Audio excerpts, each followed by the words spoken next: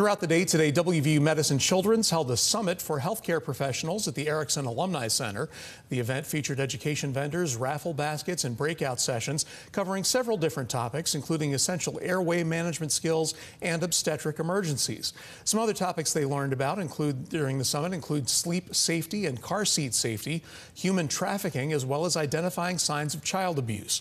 Nurses who attended today will receive nearly seven contact hours, which will go toward their next licensure renewal.